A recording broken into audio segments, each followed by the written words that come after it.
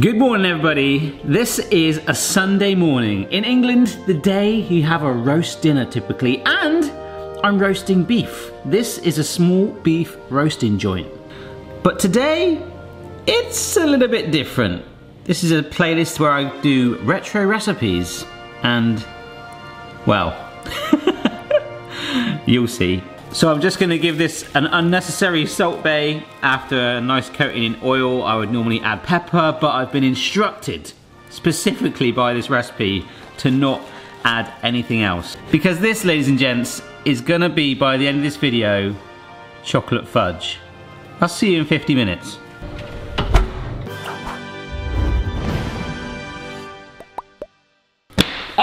And 90 minutes later, it's baked for an hour and I've let it rest. Oh, the beef smells so good. It's a Sunday here in the UK. Oh, I really want a roast dinner. No, before I slice this up, let me explain what's happening. As you know, I do a playlist called Retro Recipes from time to time where I try some of the most nostalgic, interesting recipes out there. Now today, um, actually a lot of you have bombarded me with this over the last few months. I thought, you know what, I'm actually gonna give this a try. Uh, I wanna thank midcenturymenu.com. I believe that's the website you guys are driving me to, but someone has actually sent me the cookbook uh, that they have referred to in this, It's called the Palette Cookbook or something like that. Hang on, there we are, look at that, the Palette Hostess Cookbook. I legitimately have one of those on the way to my house and they're actually really, really rare indeed. Uh, loving the bow uh, on the cow there. Apparently, uh, there are a lot of cattle herders and farmers that had so much beef they didn't know what to do with it. They pretty much ended up shoving it in most recipes and loads of you pointed towards this recipe for beef fudge. That is, yes, a chocolate fudge that's no bake. I guess that counts the baking we just did then, right? But it is filled with shredded ground roast beef. First thing we're gonna do is concentrate on the beef. We're gonna slice it up and then shred it. But I'm a big believer that if you mask something enough with enough sweetness, which is basically what this is, you should be able to hide it. I don't know if it's gonna stink of meat, but there is a lot, and when I say a lot, I mean a lot of sugar going in this. It's, it's borderline bonkers. I'm just gonna slice this beef fairly thinly, and I'm gonna shove this into a baking tin for a pudding. I can't believe it.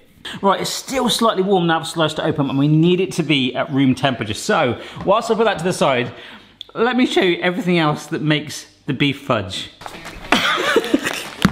Marshmallow fluff, sugary. Evaporated milk, sugary. Some chopped hazelnuts, naughty. 300 grams of milk chocolate, sugary. Butter, naughty. And, get this, this is a kilo pack of sugar. We need 800 grams. Yeah, so it's pretty full on, but I am gonna just say, I've looked on the recipe here and it does say in very small print, serves 50 to 60 people, which is insane. So you're thinking like having brownie, big size squares? No. With that amount of sugar, it's gonna be bonkers. And it makes me think it doesn't matter. You could put beef in it, you could put a pug in it, you could put your shoe in it. As long as you put enough sugar in it, it should, in theory, be all right. Okay folks, I've got two forks here and uh, what I could do is, oh my gosh, I just flick the beef on the floor and the dogs, if they are smart, they're pugs, so give them some flexibility. They should go eat that. Um, I was going to keep shredding it like that, but it's going to take a long time. So I'm going to bung it in my food processor and whiz it up. like, a, like a beef smoothie. Look at that! It's come out like dust! That has ground it up. Right, I'm going to do that with the rest of it.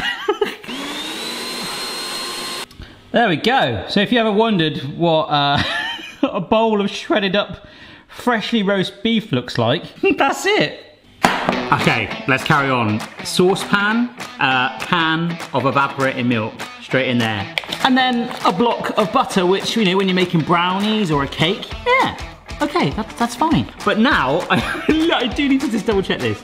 Four cups of sugar. I don't even know if this like dish is gonna be big enough to take 800 grams. it's like huge. That is eight. Oh my, this is so much. And that's just pure sugar. Remember, there's still all the naughtiness from the fluff and the chocolate. Hey, at least we've got beef. That is insane. Surely that is wrong. Surely. Flame. The buttermilk and sugar for five minutes, stirring often, then remove it from the heat. Okay. Within a couple of seconds, you would suddenly not really think that there was that much sugar in there. It's all been absorbed in. And we're just gonna melt the butter too into one big gooey mixture. Okay, so as you wait for the butter to melt, the sugar has pretty much dissolved now. And this is actually sort of like going like a caramel texture, very thick and glossy. Oh, that, that is done. oh my gosh. I've got to say, between you and I, check this out. That looks really, really nice. I'm gonna taste some. And I'm gonna steam the camera up first though. It's just starting to unsteam, there we go. this looks so good, right. It's gonna be hot, it's gonna be hot. Ah, wow. That is amazingly naughty. Oh, tastes like ice cream. I have a burnt tongue for the rest of my day. Do you ever find that when you have a burnt tongue? Like, you just see there, you're like, this pain's never gonna end, and then one day it just goes that, and you never remember that moment when your burnt tongue stopped, do you? Stir in the chocolate chips and the marshmallow fluff until melted through. Marshmallow fluff is going in. Um, I got my measurements wrong in the supermarket. End up buying three tubs of this stuff, so if anyone's got any marshmallow fluff recipe ideas, I think the thing that appeals to me about this recipe is like that whole thing. My friend made a, a zucchini cake. He's American the other day, like a courgette cake. He's like, oh, this is crazy. Well, yeah, just um, let's take this up a notch. There's something about crazy ingredients when they come together and sometimes make something awesome. The key word I just said was sometimes. And I really don't want to mix that through. I want to kind of like make a cake. Imagine if it's set like that with that sort of caramelly layer. And then we're topping it with these chocolate chips. It's supporting the weight of those chocolate chips. Come on, give in, give in. All right, let's bring the spoon in. And obviously it's insanely hot down there. We're gonna fold this all in together. And I really want that marshmallow fluff to kind of blend in because that's kind of critical right now. And also, I really hope this saucepan is gonna be big enough. There we go. It's starting to give in a bit now. So once that really starts to melt, it should really change the color here. Because we need it brown to mask the beef, don't we? Uh, so obviously this is not suitable for vegans or vegetarians. And as we add nuts in a minute, this isn't really suitable for people with nut allergies, just like Nutella. But to be honest, I think if you're making this, that's probably the very least of your worries. I've actually got to try this. Oh my gosh! That's triggered a massive food memory in my mind. I spent some time out in America working on a summer camp and I would be obsessed with Dunkin' Donuts hot chocolate. I've never tasted anything like it. We just made Dunkin' Donuts hot chocolate. Let's stop now. No, let's not. But that is just such an awesome sight. Wow. That is so nice. Is it good, right? Mm-hmm. That's amazing, right? that is so nice. Did I just give my kids diabetes? We now add in one, two drops of vanilla extract because of course that's gonna make a massive difference. The chopped walnuts, whoa. And yes, now we add in the beef. Oh no, oh no, oh no, oh no, oh no. Oh my gosh. That felt so wrong, but so right. Let's stir it. It smells like a farm. You smell like a farm. no! Mix the nuts and the beef in together. It kind of looks innocent now. It looks like grated chocolate. Oh my gosh. This has gone a lot better than I thought, to be fair, so far. Well, the really weird thing is, is it's telling me to beat it until it's firm. And that doesn't look like it's gonna go firm at all, does it? Uh, but it doesn't matter, we're gonna carry on, and I think we'll let it stand at room temperature and then put it in the fridge if nothing's happening. So this is my lined 20 centimeter tin. Um, I personally feel like we're gonna have enough to do two tins, but hey ho, let's go. Oh my gosh.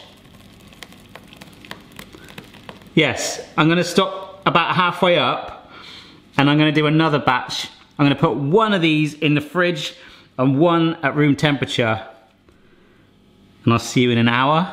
Should we give it an hour? I'm gonna give it a little bit longer than that. Gonna go out with the family to the woods for a nice little walk and in my mind try not to think about the fact that there's a meaty chocolate mixture taking over my house. Yeah. In the wild, you can find a family. All right. I've just realised I'm making an actual beef cake. Yeah? Yeah, you are. Our house is going to smell amazing. It's gonna smell lovely. Come on, guys, there's nature. Okay, so we're back from a couple of hours out and about in the woods at one with nature, back to our beef smelling kitchen. So, this is the one that we put in the fridge, and I think, look, that's actually wants to come out quite good. So, it should chop up into fudge shapes. The other one I left at room temperature was still a bit wobbly, which is a concern because we were out for so long. I'll put it in the fridge to firm up. But I do believe on the hob, I perhaps should have like boiled it maybe a teeny bit longer to help with the sugar and the caramelization process. But with a good set like this, we're back to our beefy chunks. Should we see what it's like? Oh. wow! When I was walking in the woods, instead of enjoying the nature and the trees fully, I was thinking, hmm, surely it should have been condensed milk. But no, this seems to have done the job. Will it slice? Oh, yes, it will. oh my gosh.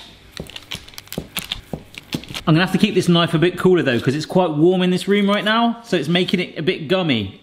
It is firmed, but it's, God, that stinks. oh God. It does smell a lot like dog food. So there we go, fudge fit for a dog. Let's get the family in and see what they think. Da, da, da. The ambassador's reception presents beef fudge. Have a smell, have a smell, have a smell, have a smell. Smells like a chocolate delicatessen. Sorry about the uh, mangled slices. Oh, close. Are we ready? Yeah. Right, take a piece. It's a little bit gummy. I'm going to just take a bit off the corner. Oh. Oh, I'm just going to grab a bit like that. I Can't get a bit. Days. Oh my gosh, it really smells of dog food. it just smell of dog food. Are you ready? Didn't when it was like that. Maybe you got the biggest bit out of all of us. This is the girl that doesn't really like meat.